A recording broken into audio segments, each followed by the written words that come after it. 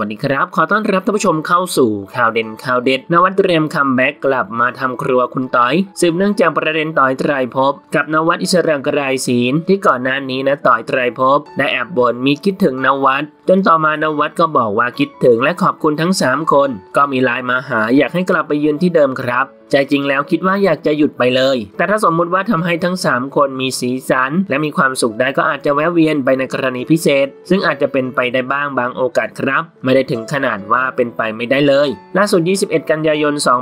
2564 ดูเหมือนแฟนๆ จะมีเรื่องให้ได้เฮกันแล้ว เมื่อเต๋าทีวีพูลนักข่าวบันเทิงคนดัง ได้โพสต์ข้อความผ่าน IG แย้มข่าวดีว่า ณวัฒน์อิสรไกรศีลอาจจะ comeback ในรายการครัวคุณต๋อย โดยระบุว่าเจ้าพ่อนางงามณวัฒน์กล่าวอาจกลับไปทำรายการครัวคุณต๋อยอีก และเทปแรกอาจพฤหัสนี้ งานนี้ชาวเน็ตต่างพากันสงสัย เข้ามาร่วมแสดงความคิดเห็นเป็นจำนวนมาก บางคนถามว่าอ้าวกลับไปทำไมอ้าวทำไมล่ะเกิดเหตุอันใดหรืออ้าวลืมตอนว่าเขาแล้วหรือว่าแบบชนิดที่แทบแยกแผ่นดินกันอยู่ไงจะกลับไปหากันอีก รวมถึงความคิดเห็นที่สนับสนุนที่ให้กลับมาระบุว่าเคารพในการตัดสินใจของพี่นวัดค่ะ พร้อมสนับสนุนพี่เขาเสมอ เราฟังเหตุผลที่กลับไป ยังไงก็พร้อมดูรายการนี้ครัวคุณต่อยดีค่ะ คุณเขามีฝีมือถ้าวางมือคือเสียดายค่ะ นอกจากนั้นเต๋ายังได้โพสต์ภาพรายการครัวคุณต้อยพร้อมย้ำชัดให้คอยวันพฤหัสบดีนี้อาจมีเทปแรก ต้องคอยดูว่าจะมีเซอร์ไพรส์นวัดโผล่ร่วมรายการหรือเปล่าท่านผู้ชมนะครับ มีความคิดเห็นอย่างไรกับเรื่องนี้ลองแสดงความคิดเห็นกันเข้ามาดูนะครับ ขอขอบคุณข้อมูลจากมุมข่าวขอบคุณครับ